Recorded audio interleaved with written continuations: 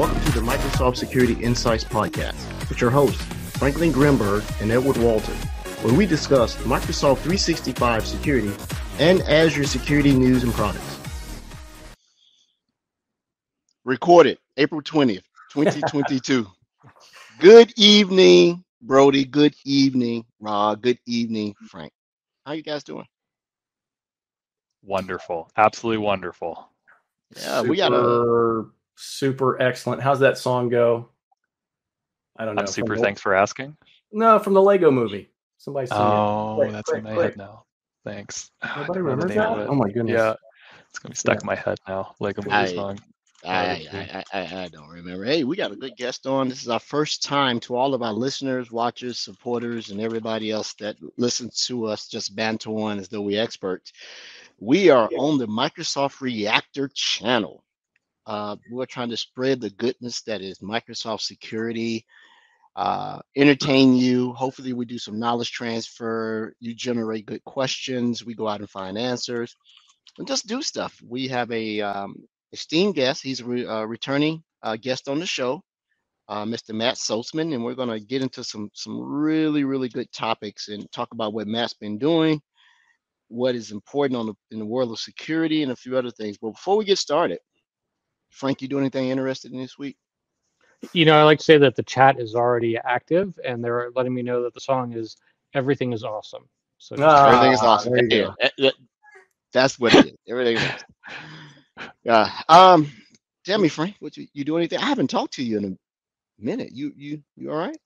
I'm still working on SC200. Uh, that's really about it. I did renew my MS uh, 500 and AZ 500 search through Learn, um, and the next day I got a little thing that said, "Hey, you need to renew your certification." So it looks like I get to do it all over again. So we'll see what happens.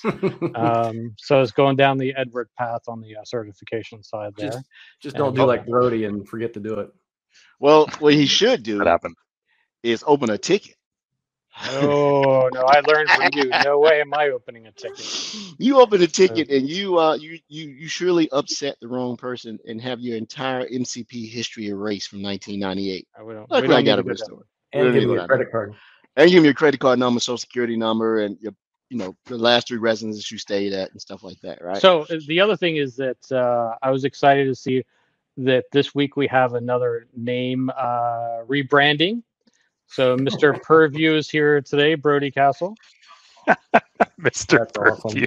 Love Yeah. awesome. Quite the rena- the brand renaming. Yeah, or consolidation, I suppose, of all the goodness and information protection, compliance, etc. Yeah, there's a there's a whole chart on it. I'm gonna have to refer to it a few times. So we'll put that we'll put that in the show notes. Rod, you want to add to that? Go Yeah, ahead. we'll have to. Um, couple people. I think it was Frank that said he hated me for the rebranding. Hated me. I don't know why he said that, but um, I was delivering a session on Microsoft Sentinel to a user group yesterday. Iowa, Microsoft Azure user group, whatever.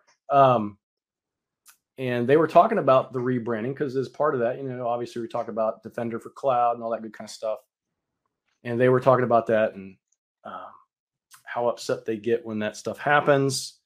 And I said, well, by the time I'm done, two hours after I finish my time with you today, we're going to have another rebranding. I can't tell you what it is, but at least I won't be talking to you. when it happens. It's Microsoft Purview Sentinel. Is that what it's called now?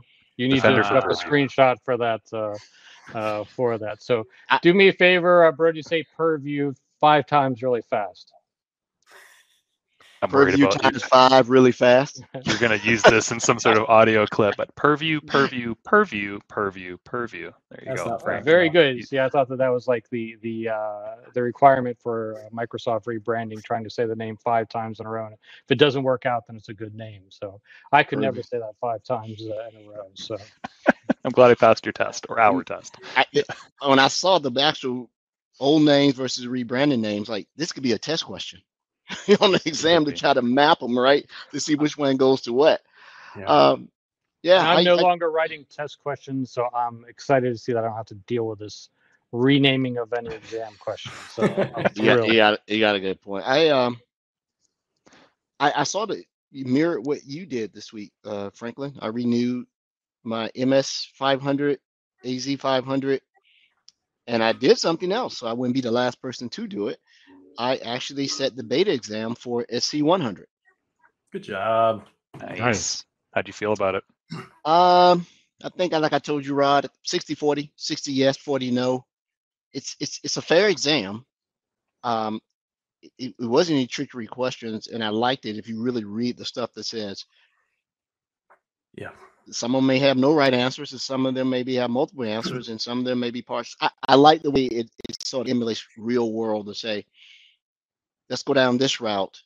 But even if you don't get to the 100% completion, you're still on the right path to get the right answer to help the customer. You're really looking at it from an architectural uh, perspective, not a task oriented. Yeah. It was, it was a very it, it was a good exam. It uh it made me think. I seem to always get a bad draw on questions about stuff I absolutely know nothing about, but those are the exams I do the best on. Stuff that I think I'm an expert in, I score like a negative two.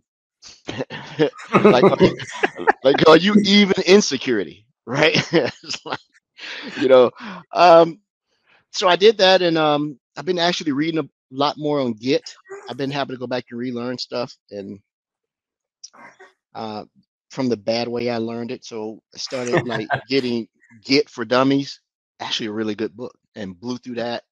Uh, and then um, Rod and I have sort of he I asked for help, he gave me something, and I'm running with it.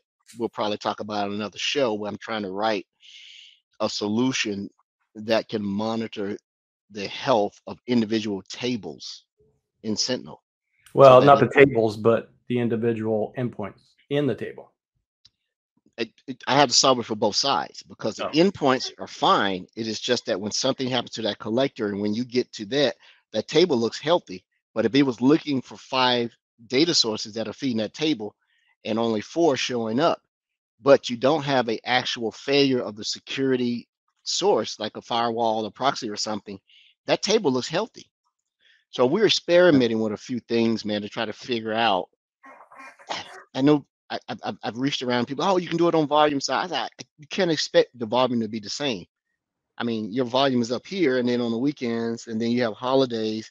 So, you know, what if the volume changes because you add another firewall, a branch firewall, or something, right? I think I got it. I'm going to write that, and uh, something else that Rod and I figured out. There isn't a documented high availability for the law collector I'm sorry, yeah, for the law collector. And there isn't really a true high availability solution for Sentinel across geographic regions without paying double. Well, yeah, It, that's, That's- the thing, right? It's, it's double, right? yeah. That's Uh, kind of that's kind of worth the worth the price. If you're worried about an Azure region going down, then yeah, it's worth the price. I think. You, you, Well, and you pay double if you had on-prem disk anyway for a solution, right? So if you had, you, you know, you and I on- talked about that, but yeah, Yeah, yeah, right. yeah. So that's been that. It's, it's actually challenging, and plus, I, you know, I like to spend money on stuff. Every time I talk to Rod, I, it costs me a thousand dollars. Wow. Every time I talk to Rod, Rod, I mean, I he want said, "Oh, I got this, I got this new shiny thing." And I was like, "I want the shiny thing. I want the shiny thing too." So I go buy it. But the Yeah. things that I did buy, because I was working with some of the federal team, and everybody in the agency always have the purple team field, uh, field manual, the red team field manual, and the blue team field manual. I highly recommend these books. They're sort of like cheat sheets on commands and all type of stuff. I, I, you know, maybe we'll buy it and have a raffle for some of our listeners and give it to them. Best uh, 90 bucks I spent for three books and convince Rod to get it. There you go. Yeah, I got it on my tablet that Ed just bought. So Yeah, I just I didn't buy his tablet. He convinced me to go buy that tablet. And this thing, my my wife goes, "What did you just spend eight hundred dollars on?" I said, "Well, I, I I- I didn't spend eight hundred dollars." Yes, you did. I said, "No, I spent eight hundred twenty-seven dollars and fourteen. I made a good business case. They made a good Love it. business case, right? So Rod, now I know why you want to talk to Edward. That's great. You've made it Yeah. profitable for yourself. Brody, what do you what do you do this week, man? You know, this week, oh, what happened this week? What happened this week? I'm working with some customers on securing guest access into their environments. Um, some more insider risk management, which is a cool, which is a cool feature. Now part of Purview. Uh, what else? Um, yeah, it's uh, ongoing Defender for endpoint work, Defender for identity work. So it's it's Q4. It's super busy, uh, which is fun. But I also uh, I'm also now a co-lead of the America's Time Zone Security Community. I got nominated by some wonderful people, Paul Navarro and Tu Tran. Uh, so a couple people are, are have been in that position for a few years now, and yeah, thank you. And and so Yeah. they reached out, and and and I'm like, yeah, absolutely, I'd love to do this. It sounds like a lot of fun. And so we're they're like, yeah, we wanted to grow a lot of interest and build a community, especially in Latin America. But then we're like, oh yeah, Canada. Well, now we've got a Canadian, Mm, yeah. and uh, so now we'll get full, you know, vertical uh, representation in the time zone area, which is great because we've got some, and that's some folks I want to reach out to to come on the podcast. We've got some some uh, gems up here, up north, right, up in the Mm. snowy north Yeah. tundra that is Canada. So yeah, look, yeah, that's that's what's new with me. Go ahead, Rod. It, well, is that where? Just trying to figure this out. Is that where you like stand on the date line and you make sure that nobody can go back or forth? Yeah, well, we we outsource now uh, for the polar bears, right? Because you know it's just easier that way. They you know they cost less and they're more aggressive. Uh, yeah, so it makes sense. Yeah. Okay, I, Yeah. totally off the rails. I have no idea what we're talking about. like, it, it, it, It makes Is two of us, Ed. I know. I'm like, all right, I, I get it. I did. You did mention MDI, and I did do some interesting MDI work today, and I'll share maybe on the next podcast when we go. We don't want to consume the time, but um, I did hear a quote, which is it sort of bowled me up to let us know that we're doing good work. We tend to give out a lot of information that's relevant, and Matt Soseman being one of these guys, I can easily follow his stuff and translate it and and and make it valuable rather than someone just talking to me. But I let him give his own shine. But I heard this yesterday. He said, when someone asks you for help and you just send them a link to the Microsoft Docs, that's just like saying someone asking you for an answer and you hand them a dictionary and say the answer's in there. give them something, give them something Yeah. that they can, they can immediately pivot to that Yeah. pulls them on because you just read through the docs. It's the answer probably is in there, but is at the very last, you know how it is at the very last thing you read, right? What's what's the what's the the immutable law? Whatever you're looking for is in the last place you you look for it. Yeah. where You find it's the last place you look, right? And uh and, and so I love referencing Rod Trent's, Matt Soseman, Jeremy Wimmeller, and a bunch of other folks because and, and a lot of MVPs because their their stuff is this is how it is and this is how you do it rather than this is this is theoretically how it should work. So but the MDI stuff I, I did today was pretty interesting. I learned something. Customers can always teach you something. Yeah. Yeah. And uh, What did you learn? well, I'm gonna save it. We want to eat it all up on this podcast. See, Okay, you don't that's save fair. for a rainy day, Brody. That's the, that's your thing. Okay. You folks want to, you want it right now. But without further ado, uh, unless. Frank or somebody else has some more questions. Um, oh, one other thing. Brody and I came to a gentleman's agreement that we're going to put off the AZ104 test until August. Uh, we need to vote on that. Sorry. You don't get a vote because you're not Vote? writing it. Yeah. I, I, I, I, I, I guess Rod was under the impression that this is a democracy. Yeah. This, is, this is not that. This is this is hey, we we volunteered told you we made a decision for you in your absence, right? Uh, we're just busy. I'm getting ready to travel. I'm gonna be out of the country for a while. Mhm. Uh, we got this director thing. We're trying to we got a lot of stuff going on. I really haven't put my mind to the studying piece. Uh, that doesn't mean I'm gonna be sitting on my hands. I just that that that exam is not for the faint of heart. Right? It is much harder than the 532 exam, which was the first rendition of it. Uh 7532 maybe that's the real real old one. Uh and i'm going through the learn stuff. I'm like okay it, there's a difference between a security guy that works in cloud than a cloud person that works in security. It's a totally different thing right? But we'll You know, push it off. our, Our, our, our, our highest uh, viewed shows are the results shows, so you know that Yeah. you're well we'll we'll, we'll find an easy exam. I, I you know exam easy being relative right? I yeah. i All right, so you guys are on to the AZ 900 first, and then the AZ 104. You're saying. i've already taken it i've already taken the az 900 I haven't actually. it And I was let my, I had my 104 and I let it lapse, That- and I was I was just sad. I shouldn't have done it. But uh, but the, the the the nice weather window up here in the Great White North is quite it's quite small. So I wouldn't let- I wouldn't want to study over the course of spring and summer. I Got to get out there. I got my golf swing. Like I'm actually hitting the ball really good this year. I gotta get into it. You know and of course i did say gentleman's agreement I, I say that we leave it up to the community in our Discord. We'll leave it to the community. Let the community Really? vote Yep. because um, They're pretty I'm- nice. I, I guess last week or either uh Rod's boss, like, man, I listen to your podcast. I love the banter and I love the certification exam contest all the time. Then he said, How come Frank and Rod are never in the contest? I don't know. Yeah, because they already have all Frank's, the exams. Frank's done. void, and I, I literally have every certification there is. So Okay, okay. You Well, gotta hey. for that, you gotta go for that power platform one there, Rod. You're oh, missing out. right, right, right. Power platform, because yeah, that's that's the next big thing. So let's go ahead and get our guest on. And and, and he and- and Matt hasn't been on the show in a while, but he, this should have reminded him what we do for the first, you know, 10 to 15 minutes. We, we do this stuff. So to our listeners and to our guests and viewers and everything, we'd like to introduce or reintroduce Matt Soseman. Matt, can I call you Matt? Or is it You can Matt? call me Matt. All right. That's fine. So I used to a- work- needs an introduction. Come on, everybody knows call Matt. you Come Matt. on. Well, Matt is a uh, security uh, guru extraordinaire. Uh, he and I used to work on the same team at Microsoft a while back. I interviewed Matt. I threw him Easter egg questions like, "How do you spell Microsoft? How do you spell AIP? You Yep. know, what's the last letter in M36?" Yep.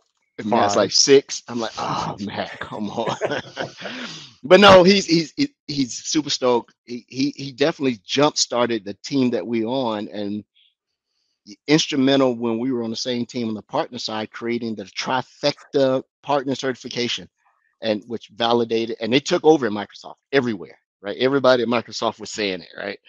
So without that, Matt, I'd like you to do an introduction of yourself. I can't do you justice. The floor is yours, sir.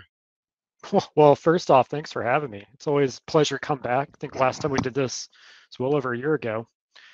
But uh, great to be back. Great to see everybody. Uh, I see all the warm welcomes here in the comments, so thanks for that. Um, been at Microsoft 10 years. Uh, been in multiple roles throughout that that time period. You know, was a consultant in MCS, out there deploying these great security products. And before that, I was doing unified communications. I went over to uh, our one commercial partner team where I met Ed and uh, worked with our, our partners as a security architect. And then recently I moved over to our Azure Active Directory engineering team. And I'm working with uh, with our partners, but I'm also helping to figure out our, our zero trust strategy for driving integrations across basically all of our security products with our partners. And then I could talk a lot more about that, but lots of interesting stuff. And uh, man, I, I, I love this company. I love this job and I love the tech. So love to talk about it. But Love thanks it. for having me. You sent us a little bit of a dossier about the things you wanted to cover: uh, passwordless uh, Sure. authentication, zero trusts, and uh, the last thing I wrote down, I can't read my own handwriting. Uh, you had a third topic you wanted to go. I'll let you do it in any order that you want to go in. I, ze- sounds like zero trust is the thing. Uh, Yep. That is the buzzword that you know. I think sometimes when we hear it within the, the ecosystem of Microsoft, there may be a misconception that zero trust was a uh, initiative created by Microsoft, but it wasn't. It, it has been an industry conception for a long time. It was just the way that security vendors wanted to approach it. So, if you want to start off with that and move to the other topics, the order is yours, whichever way you want to go. Yeah, yeah. Let's and let's make it a conversation. I mean, we could probably spend all day talking about this stuff, right? There's so much to talk about. Uh, yeah, you're you're right. Zero trust. It's been around for a while. Uh, the the backstory on it is actually came out of the Jericho Forum, which is part of the Open Group. This was uh, this was like circa 2007. Um, and right around that time period, Google started talking about uh, Beyond Corp, and those kind of kind of came to a point, and we started seeing out, out in the industry the term zero trust. And yeah, it kind of depends on on who you talk to. Different people have different definitions, but you know, broadly when you look at it, it's it's around some core principles, right? Now, now for Microsoft, the, the principles we think about, and, and even NIST will will think about this as well in their guidance, is it really comes down to kind of three core principles. You verify explicitly. You know, let's make sure it's really, you know, Edward coming through the front door and not not Brody, right? That's trying to uh, impersonate him. Which I. Uh, yeah, exactly. Uh, you know, the second one is let's make sure that uh, the user has least privilege. Now, that also includes an admin, which we could talk about because that gets super interesting when we start to restrict IT admins and not give them, you know, God mode, right, and, and full administrative permissions. So use, using least privilege, and there's a lot that comes along with that. And the third one, and kind of my favorite, and you know what what Rod's been working on around with Sentinel is assume breach. So let's let's have mm-hmm. this mindset that the attacker is already in the bank. How do we get the attacker to not leave the bank, and how do we go find them? Right. And It so just makes sense. Yeah, like when you think about that old castle moat style, Yeah. trusted, untrusted. It just you, you have to sit back and realize it's not if, it's when a breach occurs. yeah, You need to Mhm. be ready for it, and your perimeter isn't as secure as you think it is, unfortunately, Yeah. right? And it's not FUD; it's just reality. There's Right. the, the, team offense just has an advantage, right? That's just Yeah. just the name of the game. Team offense has an advantage. So Well, and I- Yeah. and I think I think some of the misconception too is that this zero trust thing. If you apply these policies, then you you don't have to monitor anymore. You're set up for best practices, but you still have to continually verify that everything is in place. So Yeah, and out of the Yeah. products that are part of the M365 security stack, the product that most closely is in line with assumed breaches MDI, Microsoft Defender for Identity. That's one of the products that doesn't have the most sex appeal. You don't want to hear anything from it at all because you're, It's go- sexy. you're going to have a bad day if you start hearing from it, right? And so, but uh, you said one thing, Matt, before we continue. You said we reference zero trust at Microsoft against the NIST framework, but which one? 800-53, 171, CFS, CSF, which one? Have So so if you look at 800 207, 207. that's that's where we that's where where where Microsoft and NIST kind of align, if you will. And and without going too deep on it, maybe that's another episode here, but 800 207 is where we talk about a zero trust architecture and then adopting basically those three core principles in the zero trust architecture. And and things things start to get pretty interesting at that point. Um, and, and and the reason why they get interesting is it kind of depends on who you are. You know, in the IT world, you've got the network people and you got the application people. And I guess you kind of argue you have the data people too, right? Um, you know, back in my day, the, the network people were always blaming the apps people, and the apps people were always blaming the network people. But I, I digress. So, so when you think about zero trust, the networking side of IT, they look at it as zero trust network access.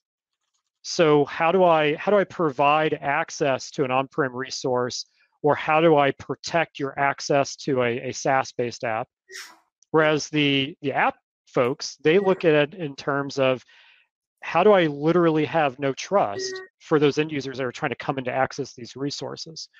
I.e., how do I make sure that you know I, I, I you know validate their identity, validate their device, you know validate the data they're trying to access, et cetera, et cetera. So so kind of it, it gets interesting when you start to get deeper into it.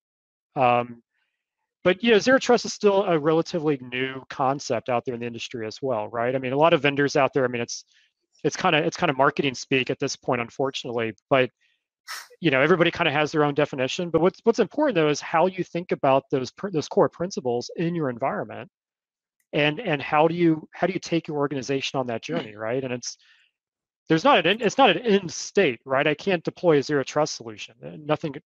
There is no solution for that, right? It's Right.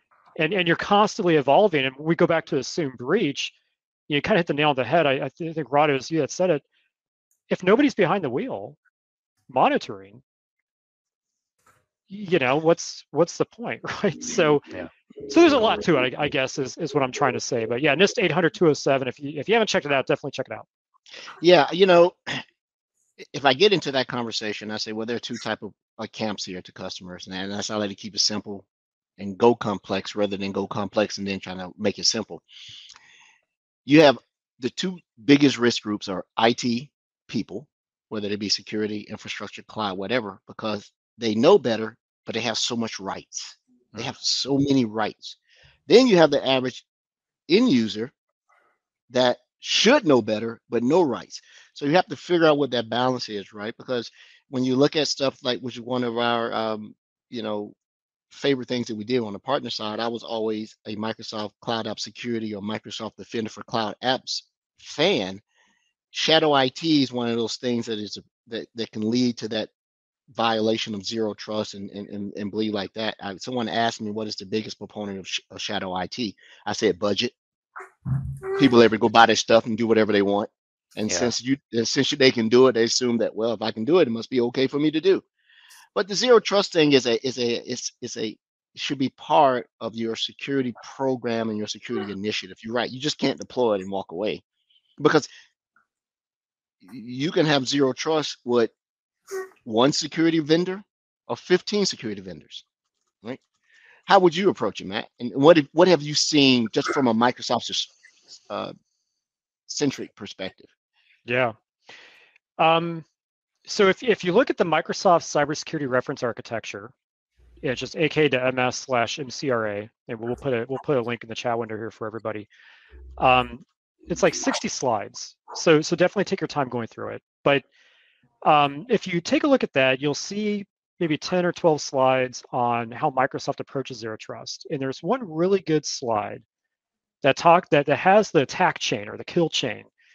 And then it shows you here's the Microsoft products that can help protect against each stage of that, uh, that attack chain. And we look at it from a from two different lenses, internal and external. So for internal, it's it's quite easy. It's it's Microsoft Insider Risk Management. That's now part of Azure Purview and and all the new exciting announcements. Um, and that's literally looking at signals from those end users, device signals, application signals. There's a lot of data coming in to help understand, okay, are, are there any users in the environment that pose an internal risk? And we could talk more about what that means. Externally, though, when we think about like a phishing email campaign, there's literally Microsoft products that overlay each stage of that attack chain. So how do they get into the environment? How do they land and expand? How they exfiltrate data? How they carry out their mission and all that. And so kind of kind of my approach and what I've and obviously I work at Microsoft, but what I've seen our customers do with the Microsoft tools is they will typically adopt the Microsoft Defender suite of products. And that's usually the starting point. However, I would argue the main starting point is identity. So, you know, it's it's kind of the age old uh, thing of I could have the best firewall, but if you have access to my identity, it's game over anyway. I could have the best endpoint detection response solution. It's game over if you have my identity, right? All Right. roads even so so to answer your question, like my approach is let's get identity squared away Yeah. and then let's branch out from there. even from my side, from a cyber perspective, right? Um, we can have just the most amazing network engineers in the world that know everything about network security, but it always boils down to bad user habits. It's always about the Mhm. user. It's always about that profile or that user account that's going to be that entry point, entryway into the environment. So So a bonus question for our listeners, either they can chat it or email us. First one we get on, in their communication. Who invented the concept kill chain that made it a industry standard? What company? Brody, you don't count. You're probably working with that customer. That's he's looking good- for exam points. Yeah. Anybody? Anybody? Let's let's give a second. That's okay. Uh, you Watching can win a the chat. Microsoft Security Insight gift card. Who Gift invented card. the kill chain? Oh Concept. boy, you're pulling out the big bucks now. You know, I didn't say how much it was. Oh right. uh, nobody's come in yet. I do believe it Oh, was I see it. Lo- There it is. Norton Norris, Lockheed, Lockheed Martin. Lockheed. So Norton, you win a Microsoft Insights gift certificate. We'll figure out how to get it to you. Well, how about how about that and a Microsoft Security Insights coffee cup? I love those. See, there we go. That's perfect. And it's, it's all for a good cause. So We'll that's do that. wonderful. So, you know, So can I ask a question here? yeah, go Yeah. ahead. Um, so when I looked at the SC100, I kind of felt like the security architect should be first and foremost focused on zero trust in combination with compliance. What is your take on that, Matt? That's a that's a great way of looking at it. Um, I would agree. You know, it's so so. I used to work in IT before I was at Microsoft. I was an IT admin, if you will, and a, an architect at a you know private company. Um, at the end of the day, what really matters to the business is compliance. You know, compliance will drive your IT budget. It will drive what you do from a cybersecurity perspective. Um, so there's those important things, but it's also how do I make sure I, I I enforce that compliance. So to give you a great example, if you look at uh, industry use cases like financial services, there is um, there is regulation that requires you to, you know, if you're a floor trader, making up a scenario here, but if you're a floor trader, you're not allowed to interact with, uh, you know, the other folks in, in the business. Or if you're in a research and development firm, you know, those scientists, they may be kind of firewalled, if you will. They can't, they're not allowed to work with or speak with other p- folks in the business. So how do you enforce that? Right. Um, so there's there's various uh, customers I worked with over the years that they've got those business requirements from a, a, regulatory perspective that they have to comply with otherwise they get fined or you know they lose accreditation if they're a university or you know a number of different bad things happen. So mm-hmm. yeah compliance needs to be a part of it. And and you know i almost would take a kind of a step back like forget the technology forget the vendors and all of that. Just what are the requirements? What are you trying to do? Why are you trying to do it? And let's get super super crisp and clear on that. And and what is the outcome you're trying to mm. drive? And then once you understand that from that business perspective, and that includes compliance, but once you understand that, then we could start thinking about okay, what kind of technology do we want to put in here to help us, you know, meet that? Um, Great that's just kind of how I how I look at that. Yeah, It should come somebody from the top down, right? It's Yeah. tough. It's tough when it comes to try to you try to generate that from the bottom up. Oh, let's apply technology because we think it can meet this or that. But we really need to understand those top down business requirements and then apply technology to meet those controls and requirements. Yeah, great, great call Yeah. out, Matt. Sorry, Ed, go ahead. No, no, I'm sorry, but I, it, it, I- I was I got with a that. cus, I was with a customer, and I was supporting a salesperson. The salesperson started touting out industry standard. They said zero trust, and so the director or whatever, it might have been CISO, saying, "Okay, what's zero trust?" And he's, you could tell he was reading, and the guy said, "Don't, don't read me that. What is zero trust?" No, I was quiet, and, and he said, "Ed, do you know what zero trust is?" I said, "Yes." Everybody's an adversary until they prove themselves otherwise about what they have, what they know, and what they can prove, right? And and and he's like, all right, that, that makes sense, right? You know, you can take that and extrapolate it anywhere, right? But you are an adversary until you prove that you are not that person, right? Hmm. By virtue of what you have, what you know, and what you can prove. Password, username, multi-factor, whether it be a phone thingy or one of these UV things right here, right? I got the YubiKey things, right? So, man, it, it's. so- But let, me- let me ask you. Let me ask one more have- thing. Well, go ahead, Frank, and then uh, I'll, I'll ask this question. I'll write it down so I don't So forget. zero trust. So what is Microsoft providing? What are the best practices for the uh, OAuth user token situation going on out there? That that's like the number one target now for uh, attackers. yeah yeah it's a, that's a great point so so when i said earlier about identity kind of kind of being that foundational layer uh, it doesn't mean it doesn't mean go out and deploy you know some identity provider solution it means it means how do you verify that it's really matt coming through the front door and and then based on that how do i give him access to various you know resources so you know as a microsoft employee just as an example uh, for me to access my email I have to have not only my identity needs to be squared away, so I got to satisfy multi-factor authentication requirements. I got to satisfy identity protection requirements to make sure it's really me. and We come back to that. But I also have to satisfy a requirement that my device is managed and it's compliant. And then if and if I don't meet those things, then I, I don't get access to the front door. And so when we think about how do we verify it's really Matt and how do we do that multi-factor authentication uh, requirement, you, you got multiple methods, right? Now, some of these methods are more secure than others. Um, what matters is, you know, you're you're looking at adopting these methods broadly, not just for IT, not just for executives, but every user. Um, so going back to your question, though, Frank, about the OAuth tokens, what's interesting about the OAuth token that has like the one-time password, six-digit one-time password on it, it could actually be phished. Mhm. And so, so that changes the game, right? Because for years, decades even, you know, in IT, we, we that's been kind of gold standard. Get an OAuth token, right? Well, times have changed, um, and that could actually be phished. And so, um, I would say part of the best practices are adopting passwordless. Now we could we could talk more about what that means, but passwordless is Windows Hello for Business. It's phone sign-in using the Microsoft Authenticator app, and then it's also using a FIDO2 security key, uh, like a YubiKey, as an example. And now what's interesting about those is it can actually verify you, um, and it can validate it really is you.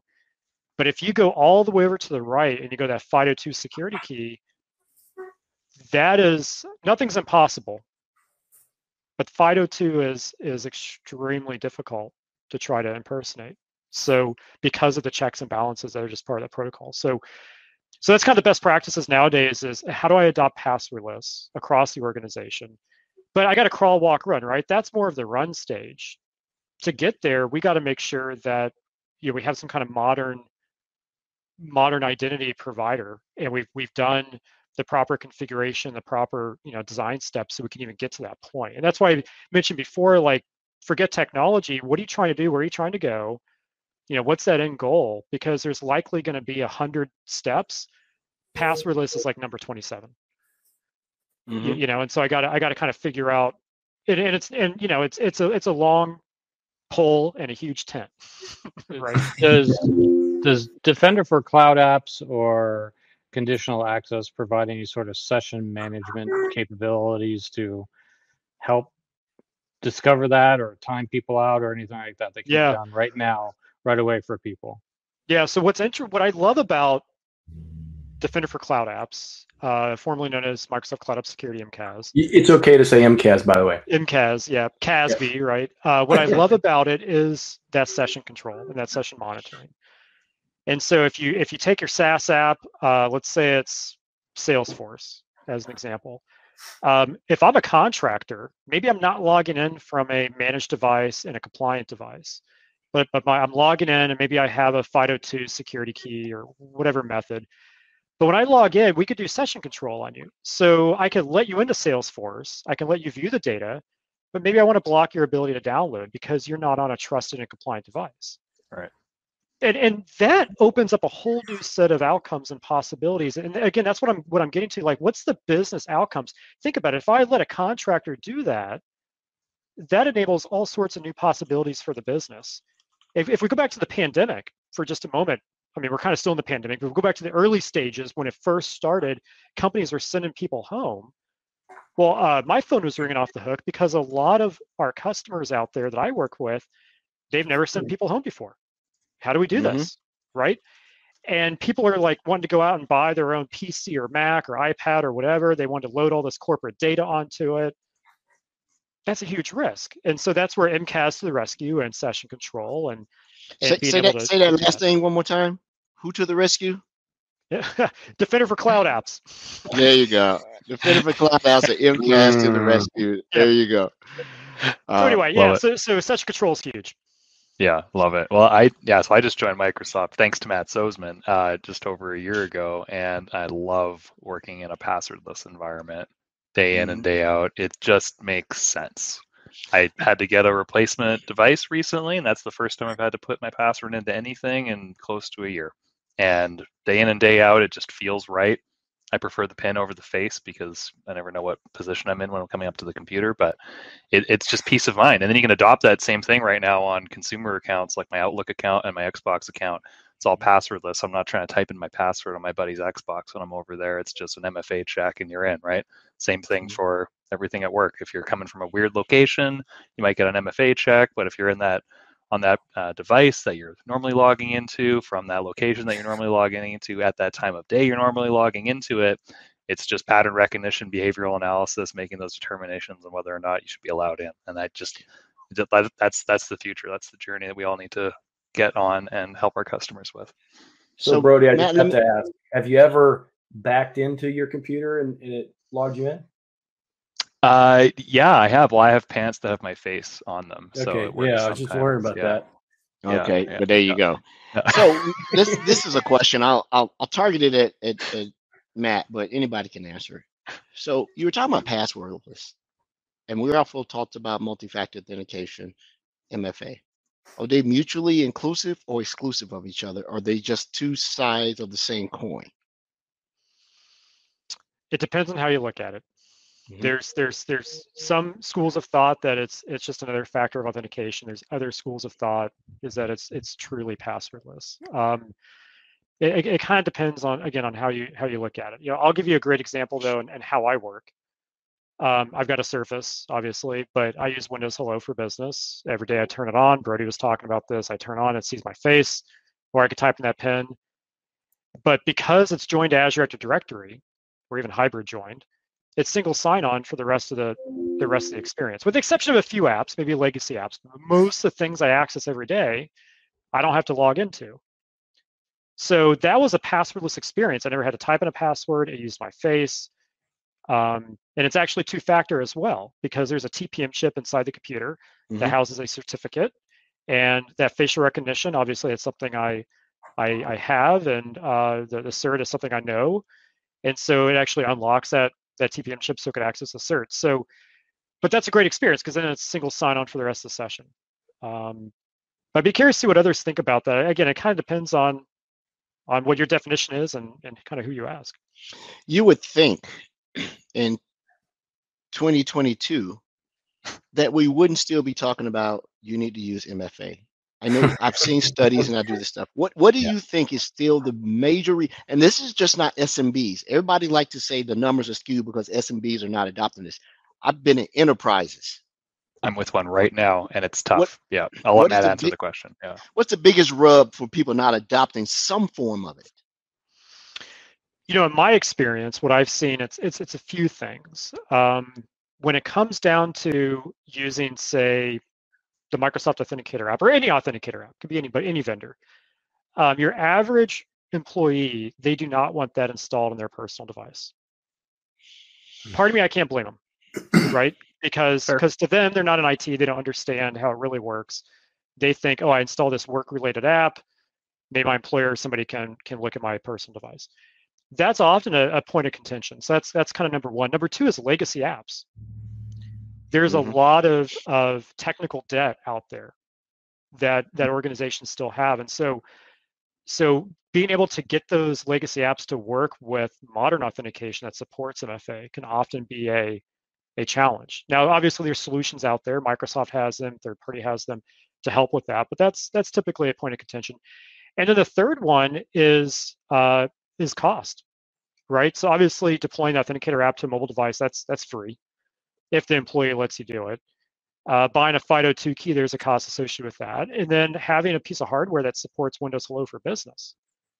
Not well, actually just Windows Hello, right? Now, to Brody's point, you can use the pen, uh, but also just having that computer that has that TPM chip, and then doing all the backend work to have the for business part configured properly. Um, that's usually what I see you know but but when you look at the the breach reports out there in the industry look at the microsoft breach reports verizon name the tech company that, that publishes these things the root cause of these breaches often fall back to identity related incidents where the password was compromised mm-hmm. you know, it drives you know, me, you know it drives me crazy about mfa and conditional access they're like they're like okay if you're at a known location with inside our network then you don't actually have to do MFA. Right. I, I, hate that known or safe location or network location thing. Uh, it should just be removed because that goes against assumed Zero breach. Trust. So it drives me crazy. Yeah. Yeah, absolutely right. Because because castle and moat mindset, right? Well, we're no, we're here. We're in the perimeter. We're safe. It's all good. Give them all the mm-hmm. access. No checks. Doesn't make sense. Yeah, yeah you're right. That's Frank. a good. That's a good point, Frank. Because you know, trying to determine what is safe and what is not safe, especially if you start looking at you know geographic boundaries, workplaces. This whole pandemic thing has totally flipped it. How do I do this? But, I don't want people to think that I'm on the COVID side. It was a necessary yeah. evil. It made everyone think about things differently because your building is not safe for me. I'm one of the best social engineers out there. You know, from delivering pizzas to delivering UPS boxes, I can get in. And you'd be surprised our customers don't, don't have any type of knack or anything, you can just stand up a wireless access point, man in the middle, pineapple to death. I mean, Frank, you and I talked about this. So, right. but yeah. I, I, mean, I, I got to tell you, I, I, do a lot of SC200 skills verification sort of work, and I don't even include MFA in it. That mm. sounds strange, right? Because I'm like, if you're at the SC200 level and you're not and, you don't know about MFA and the implementation of MFA, you know, go, you know, go back to uh, you know take a step back, right? I mean, at, at, at that point, SC200, you should be completely aware of MFA and how important it is, and so on. So I don't even bother with the skills verification of MFA just because of that. It sounds strange, but it's like this is you know this is step one of uh, of what you should actually be doing. The the the low hanging fruit, easy thing to do, make it happen.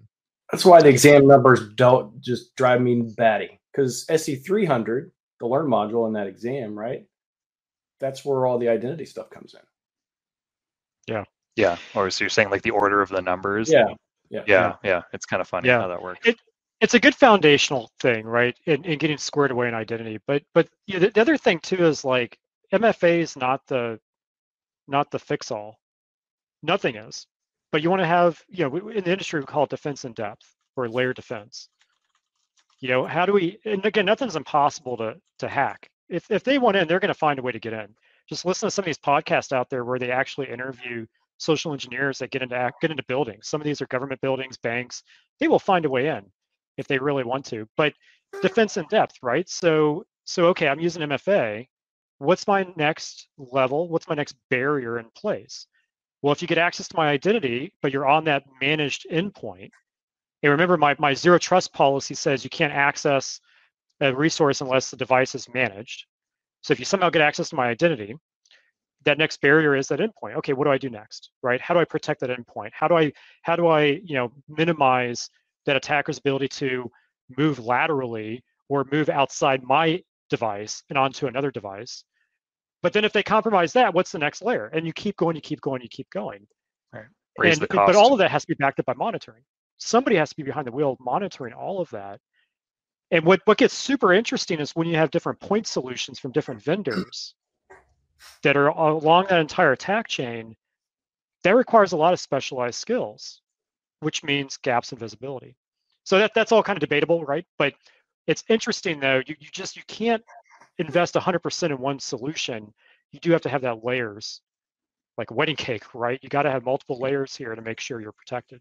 the seven but layer party depth of Yeah. security. Yeah. Yeah, exactly. Yeah. But Yeah. but one but one of the things about having depth and security, and I'm a fan of it, and I, and this is going to lead to a, a second part of this question. The more depth tends to exacerbate the problem that it wears out the security people that you have, and then uh, industries there's still a huge lack of. It's one of the few times that when you hear reports about that there's not enough workers for a particular industry, and our industry is true. It really is verifiable, especially senior level. And then when you finally get someone like us, you burn us out. And and and it is one of the things. If you thought playing cornerback in the NFL was bad, think about being a SOC analyst or someone that has to protect your environment when a team of four people can outwit your entire department and they're wearing on you, right? And and and and you won't invest in the tools. You won't do these things. So, you know, it's, Uh, it's there, there was there was a comment in our uh, chat.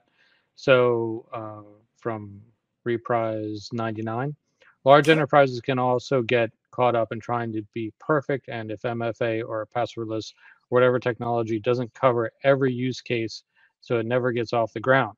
Even though deploying MFA or conditional access or whatever, even across some workloads, is still a significant risk reduction. So you know, I agree with them because one of the things that we haven't talked about here is, you know, the, the risk management side here, deciding, you know, where your risks are and, and putting that into the, the overall uh, formula here, uh, what you should be going after. So I think that that's a, a great point. They're trying to make it perfect without looking at what their risk is and is this reducing their risk uh, immediately and, and then going after those high risk areas. Frank, that's a really good point. Um, and maybe just a quick comment on that. Uh, you, you almost want to think about, not necessarily think, you want to do, but you want to go out and discover what kind of data actually exists. Now that's easier said than said than done, obviously, but going out and do a discovery of the data across the entire organization and understand what kind of data is it. Doing that will help you really understand what kind of risk you're at. It'll help you measure that on that on that meter. So for example, if I have a bunch of PII data sitting in HR or a bunch of customer PII data sitting with my sales team or customer service team, that's a problem. So that so I need to figure out how do I protect that and how do I apply these multiple multiple layers to it. But then if I have a bunch of um, engineering type data that has my intellectual property in it, well, what do these attackers want? They usually want the financial data or they want the intellectual property. And so you, you want to kind of think through how do I go out and discover that data? And there's tools out there in the market. Microsoft has tools as well to do that, but discover that data. And then once I discover it, I want to classify it. So think of like the government, you know, top secret, secret, confidential. But then based on that classification, govern access to it. So if if I'm trying to access top secret data, well, I got to be on a managed device. It also has to be compliant with all my IT policies. My identity has to be squared away. Maybe I have to have all these other checks and balances in place. But then maybe if it's uh, the lowest classification, maybe confidential, you know, maybe, maybe maybe not as much. And you know, and, and Brody, I know you do a lot with with Microsoft Information Protection and and, and the the Purview suite now, uh-huh. but that's a key benefit of MIP is being able to discover data, classify data, but then it encrypts it. So if I send you a spreadsheet and you sent everybody on this meeting, they won't be able to open it. That's right. encrypted it follows the document regardless of where it lies. And even if you make it past all of your defense in depth layers across the kill chain brought to you by Lockheed, uh, you know, that encryption, that rights management persists with the document outside. You know, if it ends up being into badcloudstorage.com, some sort of breach incident using the latest encryption standards. We were just talking with Michael Howard on this last week. It's, you know, there's today the encryption standards that we use to manage that rights management and that encryption it's not something that can be broken today with general with our computing power outside of you know if we have a, a, decepticon with a quantum computer somewhere in the world maybe they can do it but but yeah you're right man. That's that's important. That's important for people to understand. And the different policies that go behind yeah. that encryption right to your point let's introduce checks and balances uh, for highly confidential but you know less so for maybe public uh, label documents. So it's a it's a journey definitely yeah, just a quick I, comment, I, then I'll, I'll pause for just a second. So just a quick comment on that. You reminded me of a quick story. Um, you know, anonymous, of course, but I once met an organization that went through a data breach because they were they had a shadow IT problem, hmm. and they were storing what could be considered confidential data in a public SaaS app that IT had no no visibility to and so so it's you know it also comes down to and ed kind of opened up the conversation with this it comes down to also shadow it discovering the apps that are out there in the environment who's using what how are they using it and applying policy. We don't want to take that we don't want to take the freedoms away from end users. We just want to be able to extend it security policy to it and that's kind of the benefit of the microsoft suite is if you want to use salesforce or dropbox great we could do that let's extend some of that, that safety to it. Anyway, sorry, Ed, I, I know you're about to jump in. You know, one, one, of, one of the things that made you and I stand out on our team, because you and I never vilified the end user. We never made them seem like they were a liability. We made them heroes. And when you make them feel part of the security program, they're much more likely to submit stuff without fear of, of, of retribution or being, you know, shamed or being reprimanded. Like, ooh, I clicked on this link. I need to tell someone, right? Rather than I click on this link, I'm not telling anyone because I want to keep my job, right? And so I think that whomever is the mouthpiece mouthpiece of security needs to be able to have better relationship building skills because there is a misconception that security organizations or the security entity organization runs the ship. They do not. The business of the business runs the ship. Right. And, and so you have to go in and build partnerships. And that's what I'm seeing a lack of across not just Microsoft, all vendors. They just want to sell you something, right? Instead of saying, what problems you got? Blah, blah, blah, blah, blah, blah, blah, blah, blah, blah. I tell you, uh, industry, for the most part, it has it together, and you very rarely see breaches because they do everything you talked about. They've been doing zero trust for years. They've been doing, no, you don't get to bring your own device pharmaceuticals because they have valued their intellectual property, right? And they know if we lose this or this gets leaked out, this has potential to cost us millions, if not billions. I used to work in the pharma industry. You're talking about shakedown, scan you. You don't use anybody's laptop but mine. You don't get your phone. We supply you with a device all the way down. And they have some of the best data protection you'll ever see, right? uh, I, I think that the other thing we have to do is we have to lessen the load and Frank make this point. It doesn't have to be all or nothing, right? You got to have some, right? I had a customer that wants to to do a MDI um, POC, and they're worried about, hey, how, you know, this is going to be really heavy lift because they, they had a lot of domain controllers, a lot. I said, that's fine. We're just doing a proof of value. Let's get it on a couple. Well, I'm gonna have blind spots. Yeah, you are. But unless that person is extremely skilled, they're not gonna know what's on that particular domain controller. And they're gonna make a mistake. Right when they start doing subnet queries, they start doing LDAP binds, they start looking at your directory structure, they're going to tip off the, rain, the wrong domain controller. Now, who's watching that? Who knows? Because everybody's burnt out. Brody's, Brody's worked 15 hours a day.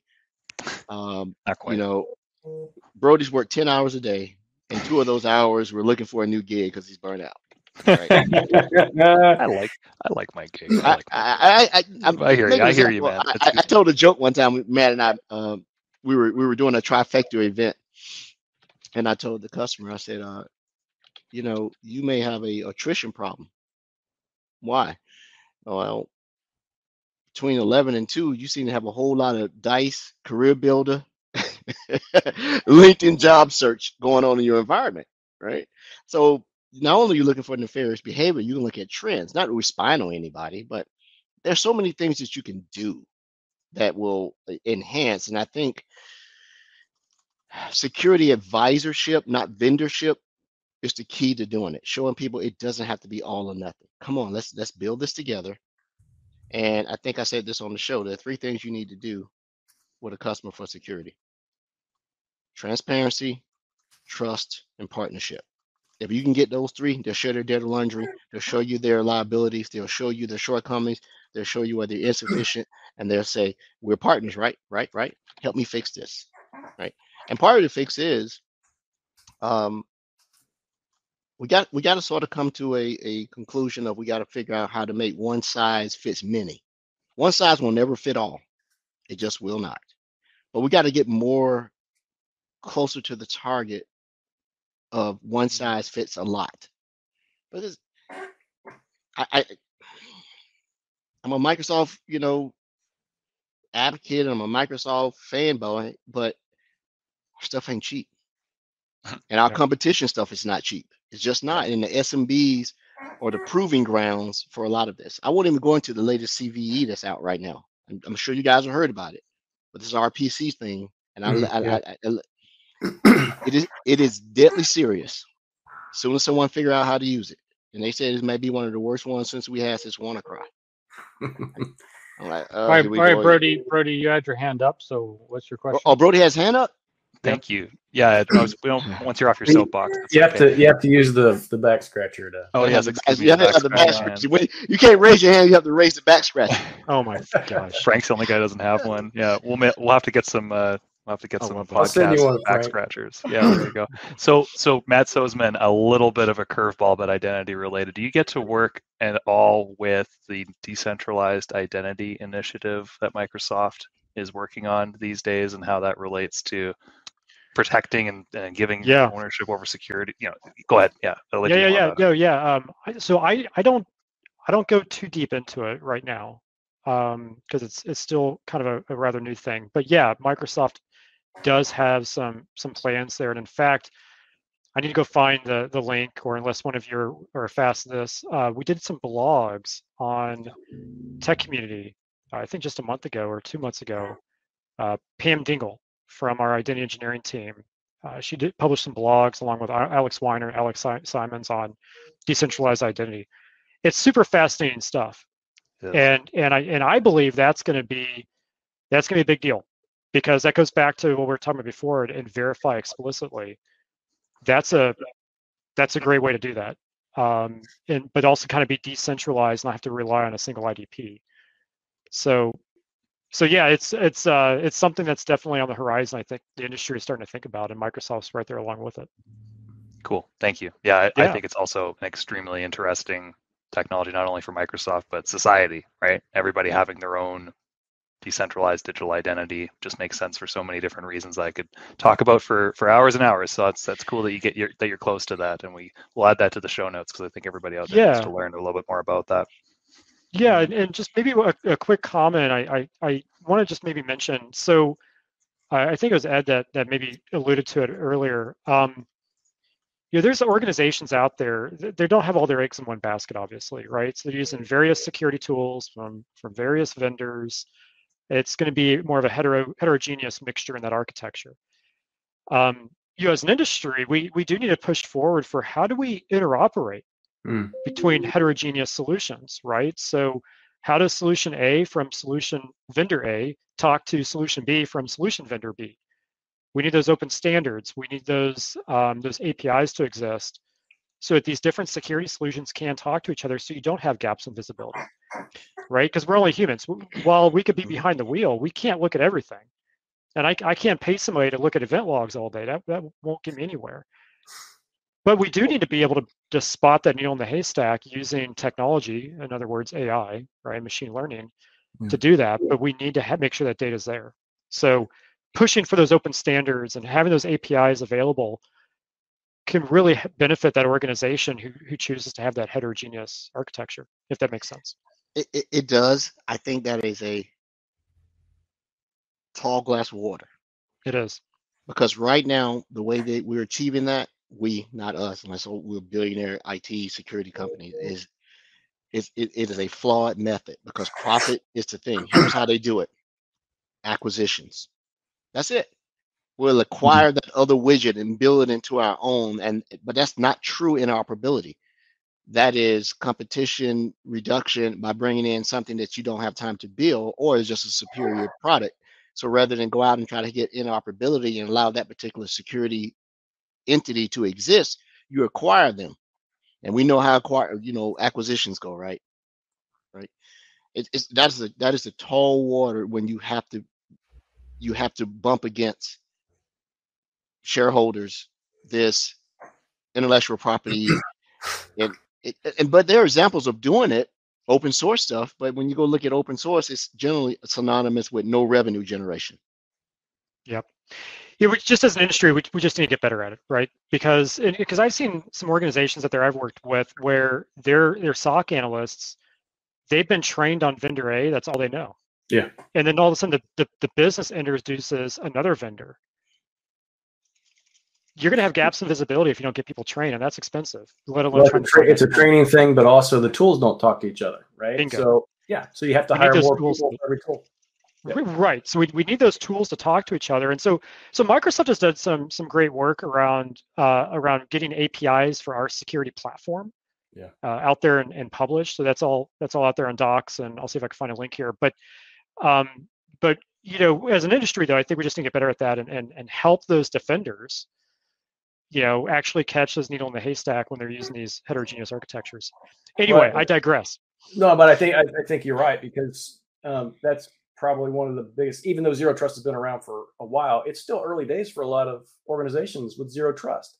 A lot of companies and customers I talk to, and I say this whole zero trust thing, I have to explain it to them the different pillars, identity, devices, apps, all this stuff, and then how what our approach is because we kind of take that model and then we apply whatever our defender product is against that. We have that coverage, but we still have some gaps from a partner perspective. That's why we rely so heavily on a lot of our partners.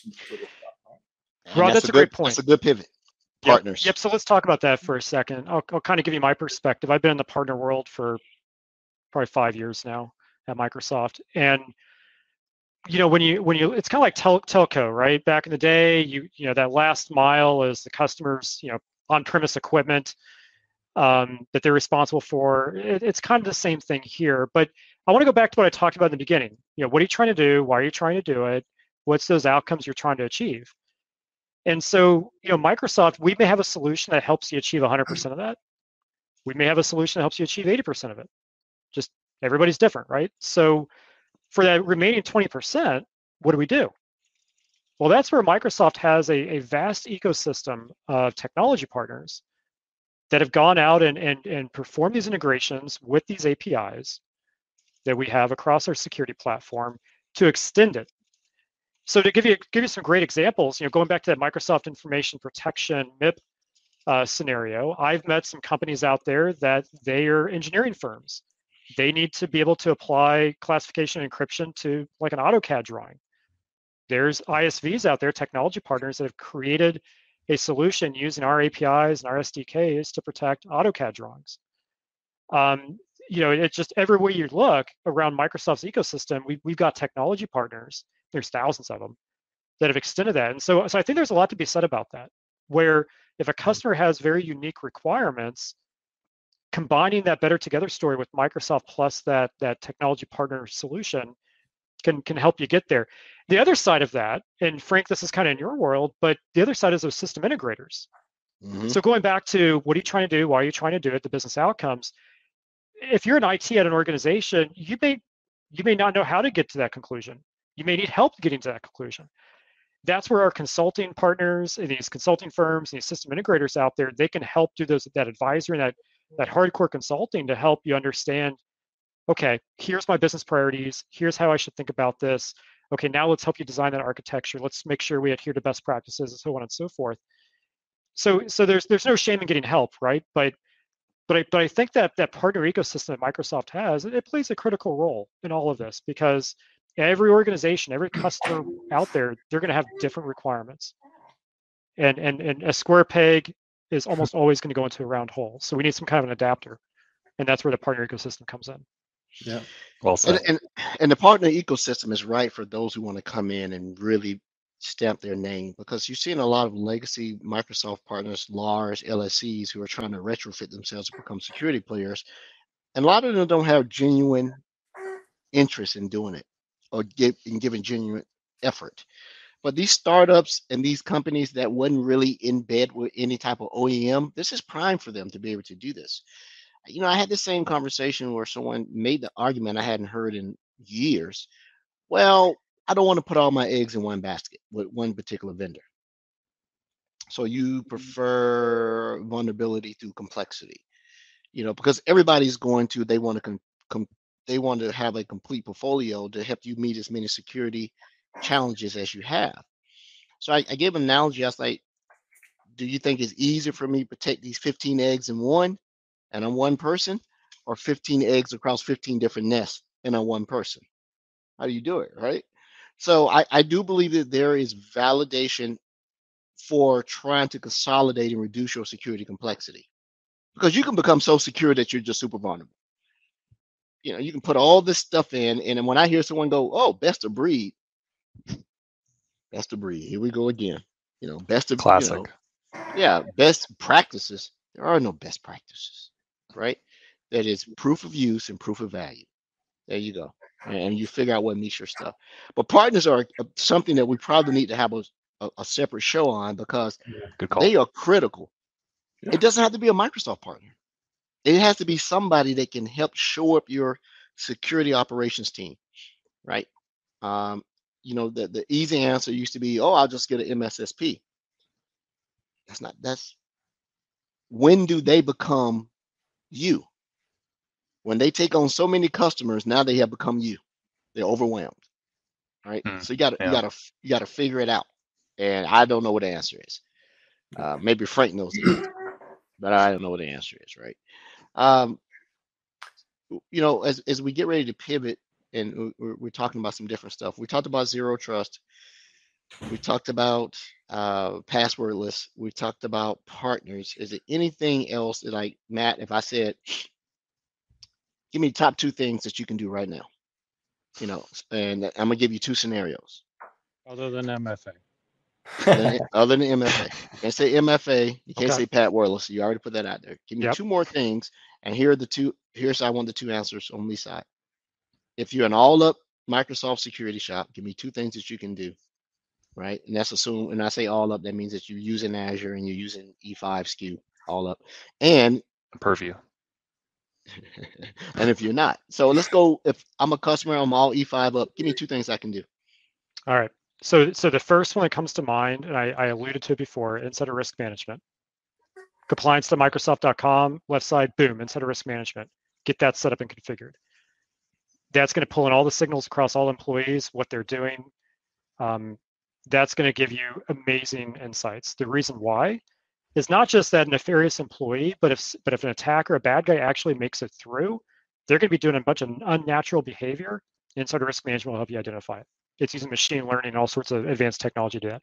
The second one that comes to mind is don't forget about the endpoint, whether it's a server or a laptop or a mobile device. Don't forget about it.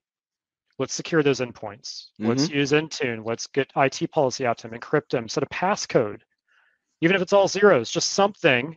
Actually, don't do that, but just something that that gets out there to secure that endpoint. EDR, right? Microsoft Defender for endpoint, but do it for your servers too. Consider what's going on in Azure, right? We got Sentinel out there watching the Azure environment, but how are we protecting those servers, right? So, so you know, protect your endpoint and then look for insider risk. I think you'll find insider risk management is, is hugely beneficial. Now, it's it, you're gonna have to set it up, and it's you know there's some configuration required, but man, once you get that under control and you start looking at that data, that that can be life changing. So that's kind of my opinion and going beyond passwordless and beyond identity. Yeah, I Is insider risk I- is, is insider risk management compliance or security? Hmm. I, I think it's compliance.microsoft.com. I think it's I know, I know, I know where it's located, but to Oh. you, is it security or is it compliance? Yeah, I don't know, guys. That's a tough one. I kind of, I kind of, Stump Matt Soseman. Nice job. yeah, Frank. I go, I go across. I mean, I, I'm kind of straddling the line here on that one. Um, I guess it depends on how you how you think about it. Like, you can set up groups within insider risk management to to monitor specific people, and that's where communications compliance comes in too. Right. Like that's even cooler, right? So I can look for keywords to see if somebody's talking about insider trading or whatever. Um, so I guess it can go between both, but um, if you haven't checked it out, check it out. I, I you know, I think it's, I, I think that, I think it's worth the, uh, worth the time. and I, I give you a joke. Yeah. On a customer call, salesperson asked me to come help out. We, they were trying to get the customer to adopt Insider Risk. They had, they had purchased it, E5 and the other SKU, the premium. I think they're starting to charge for it now. And he said, "Yeah, it's a heavy lift. Plus, you know, I'm trying to get most bang for my buck. It's Insider Risk that doesn't help me against external threats, sir. If someone breaches your environment and they're on the, where are they? They're on the inside. Can, But- and- can I add and- a and- third one? Sorry, can I add, Yes, I just want to add a third one. Mhm. Defender for identity. Love it. Like for me, that is very, dare I say, low hanging fruit. totally. if I still, if I have an. Active Directory environment, which most organizations have an Active Directory, Windows Server Active Directory environment, that is like the easiest thing to set up. Now you got to tune it a little bit if you got service accounts and stuff. You get, there's a little bit of tuning, but once you get that set up and, and ready to go, that can provide huge value. huge huge value it, it is one of the things that doesn't require a lot of lift just change control convincing the server admins that hey this this sensor is not going to kill the authentication and kill your domain control and your dns and once it's in you hope you never hear anything. I don't want to hear anything coming out of this right? Uh it is it is definitely one of my favorite products now because of ease of deployment and bang for the buck or perceived bang for the buck. Because, like I said, I've gone into one out of five customers that I've helped put it in. They stop the PLC because they discover something. Oh, They're like, wow. time out. You know, we now we need to get some other people in here to see about this, right? And sometimes it's benign and lack of an indeliberate because of insider risk. Unfortunately, some of them have been external risk that became insider risk. Because once I'm on the inside, I'm insider risk, right? Man, but yeah, it's it, there are tools out there. You know, we are the Microsoft Security Insights podcast, so we're going to tout and promote the things that we are good at and skill. But we tell all our listeners and all our, our folks out in the field, use something. Use something. Yeah, Don't- you absolutely. Yeah. Because because the bad guys are not going to pass you by. oh, I'm too small. Oh, I don't do this and that. Nah, nah. You you you're a prime target. Yeah, we got we got to get you right. Uh, what So else would you like?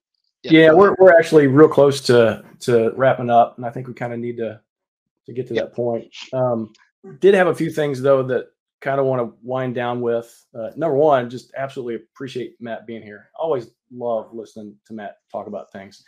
He absolutely makes me smarter. Um, so I, I'm I'm actually gonna go, you know, talk to the wife tonight, and she's not even gonna know what I'm talking about at all, which is absolutely awesome. A, Which lo- means a I lot of watch my own TV shows and do everything that I want to do tonight. So Matt, a lot of comments in our uh, chat here. Everybody's saying they learned so much from you and the videos that you you. put out on YouTube. So uh, I thank wish you you. could see all those uh, those chats out there. Yeah, Yeah, great he, job, Matt. he is. He, he makes Rod f- smarter. He makes me feel dumb. Right. you know, Thanks for so, having me, guys. yeah, Yeah. it- for sure. This is awesome. Also, I, I- do want to mention since this is our first time on Microsoft Reactor, I think this is super awesome. I really appreciate uh, this opportunity, and I think we all kind of do. But for those that are brand new to us and our kind of style of talk and chat and podcasting and stuff like this, this is actually episode 98, right? First one on Microsoft Reactor, which I think is absolutely awesome that we had Matt on talking about, of all things, identity, which is the first pillar of Zero Trust. This is our first episode um, on Microsoft Reactor, but this is actually episode 98 of Microsoft Security Insights podcast. Uh, it was shared earlier, the link, but you know you can go out to Microsoft SecurityInsights.com, check out all the previous, and we actually do this every single Wednesday evening at 5 p.m. Eastern time. Right. Um, I think Frank, the the audio version of the podcast goes out on Mondays or something the following Monday, uh, so everybody can listen to it wherever they listen to podcasts. But it's I think it's important to understand that we're going to be doing this one once a month. Our next scheduled Microsoft Reactor show is May 25th with our buddy Jing. He's actually coming back. I held this up earlier. Uh, infrastructure is code with Azure Bicep.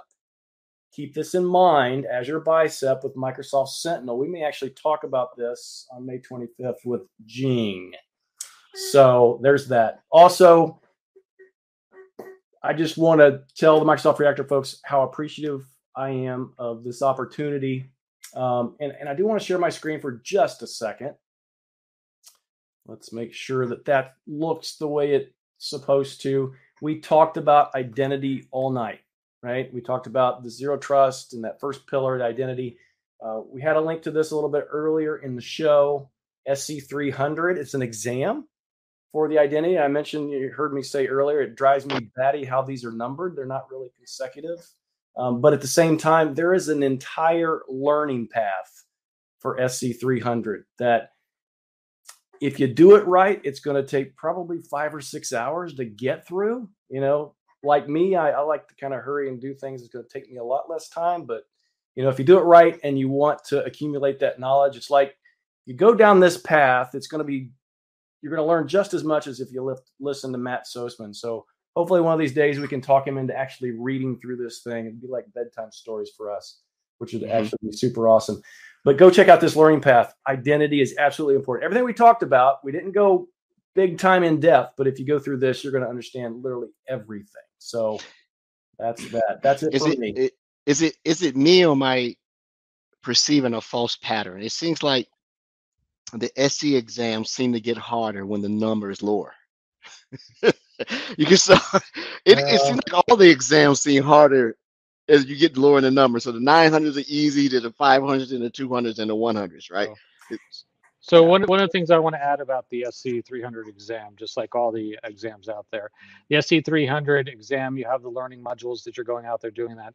Also, if you go out to uh, GitHub and look up SC 300 Microsoft Learn, uh, you'll actually get all of the uh, labs that go along with the SC 300 side, and you can work your way uh, through that in your environment. All right. Ed, Well, thanks to our listeners for coming on to our first reactor show. I believe it's a success. I think those that are getting used to us probably know that you're not being rude when we're looking left and right because we're either in the YouTube or we're in the Discord or we're in, in this chat. But this has been extremely enlightening. I like being able to talk tech, but there are immediate applications that someone can take, the you know, little tidbits. So the next show is coming on uh, May 25th. Uh, but as Rod said, don't sleep on our weekly podcast. We we we love to share knowledge. We love comments. Join our Discord. Uh, we do answer. Um, we do help. We do like to have career advancement among our uh, our listeners and supporters. And you know, we know we're doing the good work when those have said, "Hey, I passed the certification because I listened to your guys' show. I got this job because I did this," or "Man, I could not figure out how to solve this problem until I listened to you guys' episode so and so." So uh, we're doing it because we like doing it. Right? Uh, and uh, anybody that has suggestions for the shows, uh, we'll share sometime or another a way that we can have a um, a community inbox. I think we need a community inbox, don't we? We don't have one yet. That would be Brody's actual inbox. We'll just share Brody. his email address. Yeah, we'll Perfect. share Brody's email address out. We'll do it. that Love email. Thank you. Where Matt, I appreciate you, sir. You've always been accommodating, man. I enjoy working when you're there. I know you're doing great things. At any time you want to come on the show without invitation, you're more than welcome. I'm sure we can find uh, opportunities for you to host a show when someone's taking vacation or doing something else, or if you just want to do it, just come on board and do it. You're friend of the Well, show, thank- brother. Thanks for having me, and and to the audience out there, uh, you know, thanks for spending your time with us. I know it's valuable, so really appreciate it. Yep. Time is the most undervalued currency on the planet. There you go. All right, next until week. next week. Take care, everyone. Same bat time, same bat channel. Dun-dun-dun-dun-dun-dun-dun-dun. All right, we take go. care. Thanks, Matt. Edward. Take care. Oh, by the way, Frank, uh, we need to get like an ending audio thing for our podcast.